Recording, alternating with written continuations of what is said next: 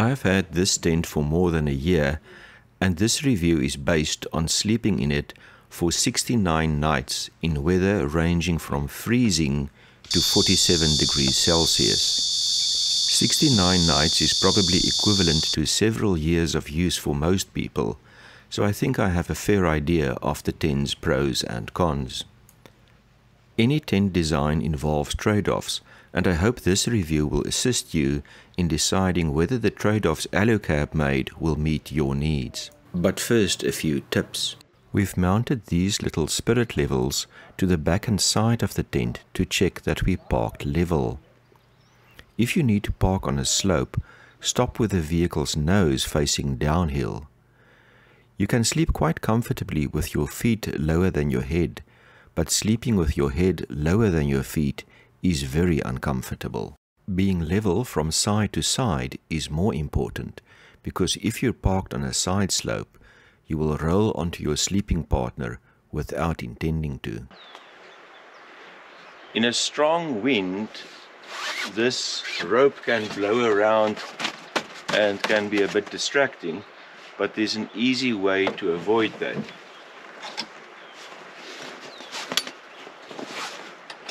You simply hook it over the corner of the awning and then it's got nowhere to go.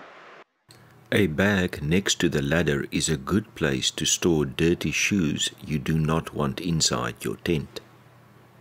Rooftop tents come in two basic varieties, a soft shell fold over version with a zipped canvas cover and a hard shell clamshell design.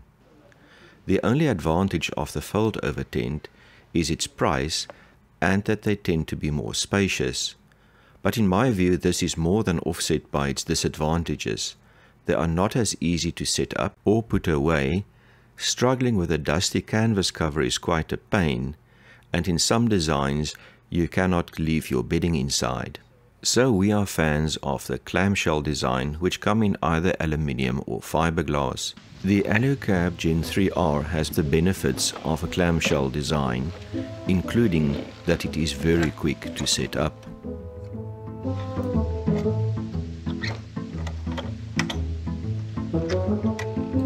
As you can see, I wasn't in a rush, so if you get a move on, you should be able to do it significantly quicker.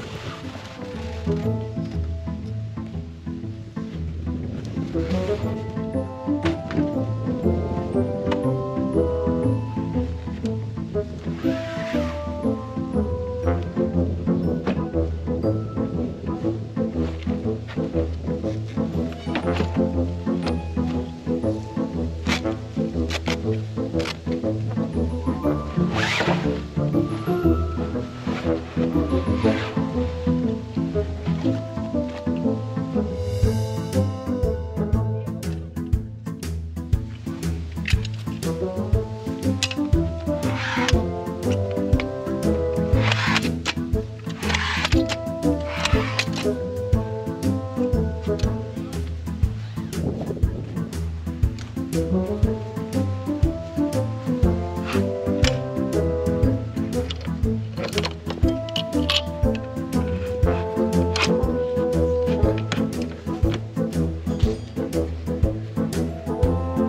is also quite quick to take down.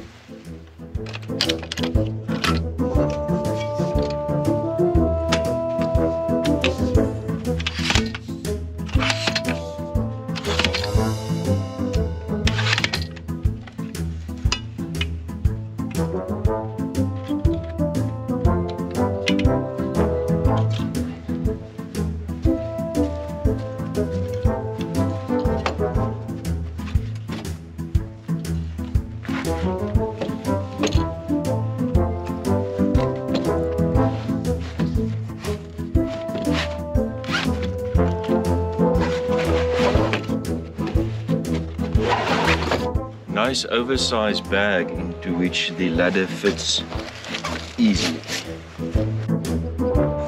Deploying the back awning is optional. You can leave it rolled up neatly out of the way if you do not need it. If you haven't deployed the back awning, taking down the tent is even quicker.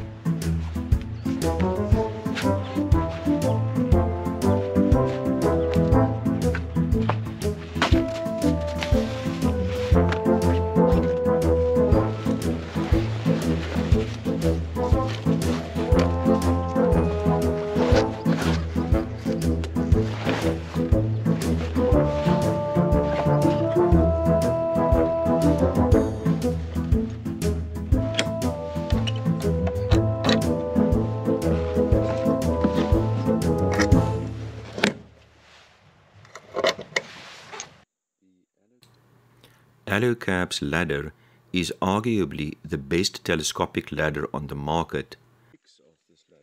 It features nice wide treads which are angled to be horizontal when the ladder is in use. You'll be surprised what a difference this makes to the user experience, especially with bare feet.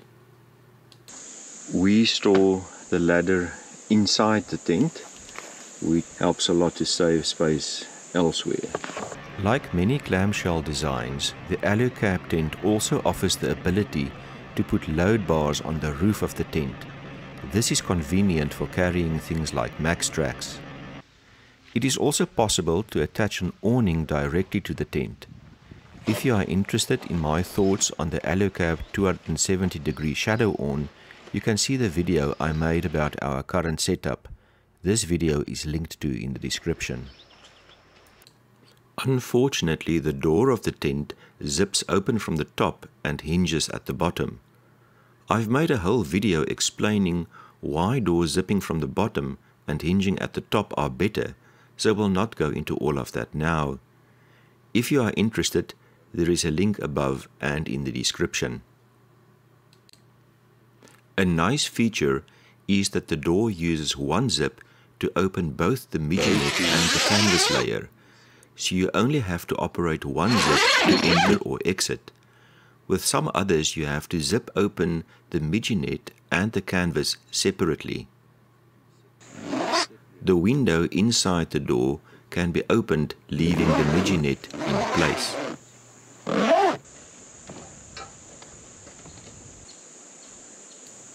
The side awning helps a lot to keep rain out of the tent when getting in and out in rainy weather. This alleviates one of the main problems of doors hinging at the bottom. You must just remember to deploy the side awning in time.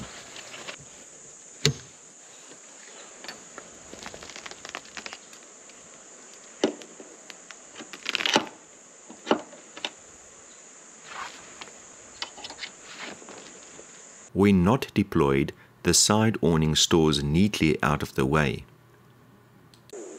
Our tent came with a the optional drop-down table which actually is quite convenient if you have something like coffee or something that you want to put down on the table, books for reading, etc. During our two month trip this mounting point failed but that was fixed under warranty. One of the party tricks of this tent is that it comes with a backrest that you can adjust so you just pull it up as far as you want it to go and it clicks into place and where this comes in very nicely is if you want to sit and read in bed or drink coffee that you've got something to rest your back against and then once you're done you just fully pull it up and it goes down again one of the many design choices that the designer of a hardshell rooftop tent faces is where exactly to put the gas strut used to assist with opening the tent. There are basically three choices. The first choice is to put it on the outside of the hard shell. This choice maximizes interior space but leaves the strut in a position where it is quite susceptible to damage from overhanging branches, etc. The second option is to put it in between the outer hard shell and the canvas layer. Here it is protected from damage and does not get in the way of the canvas folding in when you close the tent, but it does take space so it does not maximize interior space for a specific outer dimension. The third choice is to put it on the inside of the canvas layer, which also works fairly well, the only problem with that being that it tends to get in the way of the canvas folding when you close the tent. Alucab chose the second option, which I do prefer to having the strut outside. The tent comes with convenient storage pockets, which is by no means a unique feature.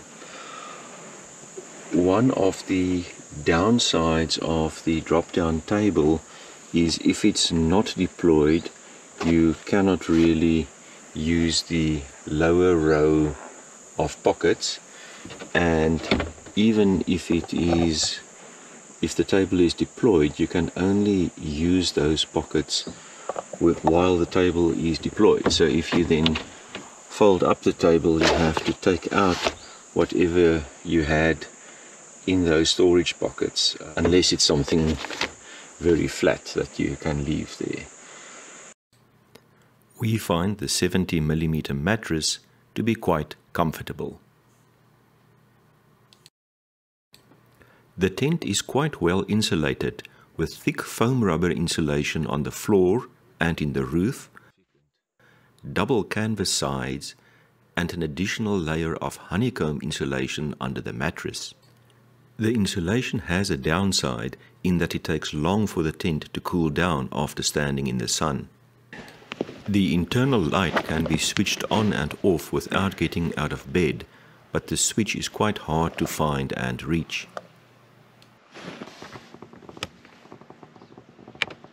The Generation 3R tent comes standard with a connector for a solar panel on the roof of the tent and then has two Harrison connectors underneath, uh, one for the solar panel and one for providing power to the tent. I love the fact that they use Harrison plugs, also known as Anderson plugs, and that means that you can actually leave it plugged in while driving because it's quite a secure connection. This um, connector on the canopy is not standard, but they added that for me during installation and it really works a treat to just have this small flyover lead. The tent offers internal USB and cigarette lighter power points, but these are in a very inconvenient and hard to reach position. They are pretty much hidden under the mattress where your head is in the sleeping position. When the backrest is up, they become impossible to reach. If you use them to charge a cell phone, the backrest can easily crush the cell phone screen. In addition, wires tend to become entangled in the backrest. It would make much more sense to have the power points in the roof of the tent near the feet so that you can place items to be charged on the table. We ended up running a USB extension lead to this position. So let's summarize what is good about the tent. It is sturdy with less wind noise than our previous tent. You can attach an awning directly to the tent. There's the ability to carry loads on its roof. The side awning is very useful in rain. Both the side and the main awning can be rolled up out of the way so deployment is optional. It arguably has the best telescopic ladder currently on the market you can switch the internal roof light on and off remotely. It is pre-wired for solar panels. It uses sturdy Harrison connectors for providing power to the tent.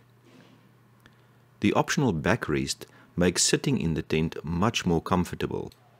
The drop-down table is an absolute game changer. And so the list goes on. However, there are also a number of things which can do with improvement. When the tent was originally designed, neither the backrest nor the drop-down table were options. These are excellent innovations, but they have eaten into the available storage space when the tent is closed. So the storage space is now adequate rather than generous, and a bit of extra space would be nice. Alucab used to offer their tents in a silver finish but this was discontinued in favor of an all-black tent. The black tent gets extremely hot. After a day driving in the sun in the summer in Africa, at times it got so hot that it literally burnt my hand when touching it. Inside it was as hot as an oven, and then paradoxically the excellent insulation works against you as it takes very long to cool down. The mounting points of the drop-down table should be increased and strengthened. the internal light switch is quite hard to find and should be more accessible. It would be nice if the internal light could switch from white to say red because that certainly helps with insects. The internal power points should be moved to a more convenient and accessible position. The doors should hinge at the top. While this list may sound long and negative, if you ask me whether I would buy the same tent again knowing what I know now, the answer would be yes. If you have any other questions, please feel free to ask them in the comments. Thank you for watching.